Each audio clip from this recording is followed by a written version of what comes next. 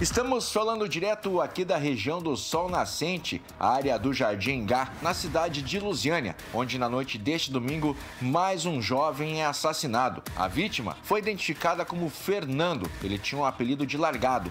Estava em frente a uma distribuidora de bebidas quando dois elementos passaram em uma moto, avistaram Fernando, fizeram a meia volta e começaram os disparos. A polícia militar chegou rapidamente ao local, também as equipes médicas do SAMU, que nada puderam puderam fazer para salvar a vida deste rapaz que entrou em óbito no local. A polícia científica também foi acionada para fazer a perícia e o rabecão para fazer a remoção do corpo deste rapaz até a cidade de Formosa. Segundo a polícia militar, Fernando não tinha passagens, era um rapaz trabalhador. Agora é mais um caso para o pessoal da Polícia Civil desvendar. Mais um assassinato, mais uma vítima de arma de fogo aqui na região de Lusiânia. Eu sou Rafael Kozlovski e falo direto para o programa DF Alerta.